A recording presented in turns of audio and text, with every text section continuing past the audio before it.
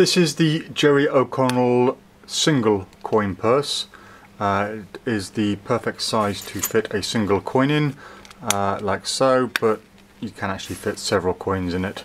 So two silver dollars there and a couple of Chinese coins. So it does fit more than one coin, uh, but it was designed just for the one.